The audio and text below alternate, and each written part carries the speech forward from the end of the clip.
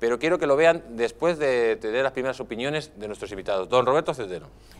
Bueno, vamos a ver. La parte negativa es que eh, el virus está creciendo exponencialmente. ¿eh? Es decir, eh, bueno, tú lo has señalado ahí, pero si anteayer se contagiaron oficialmente 3.000 personas más, hoy se llevan ya contagiadas 3.400 oficialmente. Es decir, que si eh, extrapolamos linealmente eh, la situación, no llegamos a la realidad, sino que va en, forma exponencial. Claro, eh, eso mm, verdaderamente nos llevaría a unas cifras realmente tremendas.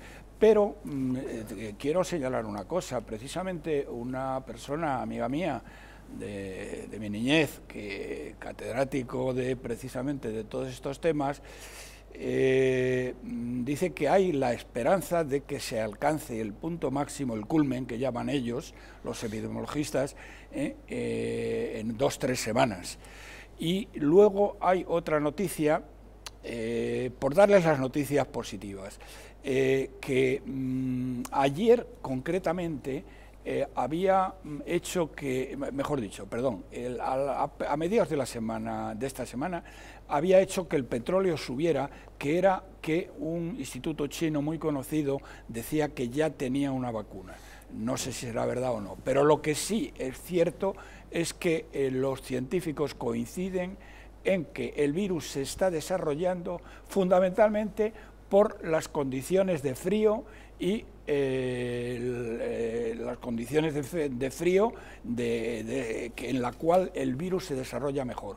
Que en cuanto suban las temperaturas y llegue la primavera, el virus no podrá sobrevivir. Es decir, para ellos, la mayor parte de los científicos consideran que el virus no superará, no podrá superar ya la primavera y desde luego mucho menos el verano. Pero de momento todo lo que tenemos son malas noticias y subida exponencial de los casos.